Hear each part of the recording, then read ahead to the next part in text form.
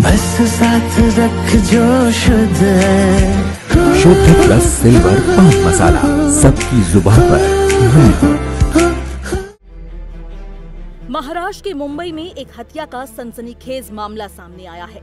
मुंबई के वसई इलाके में मंगलवार सुबह करीब आठ बजे एक युवती घर से जॉब पर निकली थी और इसी दौरान सड़क पर पैदल जा रहे एक सरफिरे आशिक ने उस पर हमला कर दिया। युवती हमले में घायल हो गई और ज़मीन पर गिर पड़ी। इसके बाद वो दोबारा उठ नहीं पाई। आरोपी ने दर्जनों बार लड़की के सिर पर लोहे के पाने से हमला किया।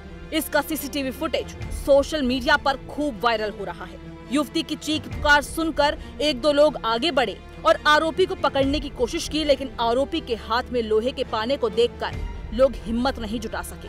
वहीं इस घटना का एक और वीडियो वायरल हो रहा है, जिसमें आरोपी महिला का चेहरा पकड़ते हुए दिखाई दे रहा है और उससे बात करने लगता है।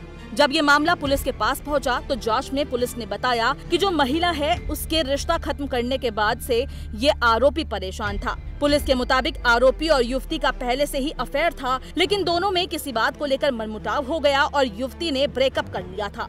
इसके बाद युवती का दूसरे युवक से अफेयर चल रहा था और यही बात उस आरोपी को नागवार गुजरी, जिसके बाद उसने बीच सड़क पर दिन दहाड़े इस युवती की हत्या कर दी। आरोपी को पुलिस ने हिरासत में ले लिया है और घटना की जाँच की जा रही है।